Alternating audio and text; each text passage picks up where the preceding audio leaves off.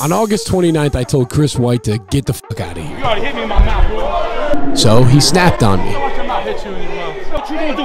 Fucking lemon? You fucking lemon? And from then on, I became Lemonte. Hey, so what do you guys think about Chris White? To be honest, it didn't make sense to me, so I played into it.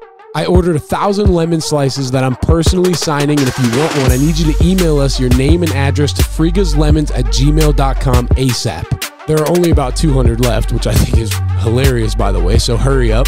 And I'll see y'all on March 12th when we take on the Hoolies 5v5 in California.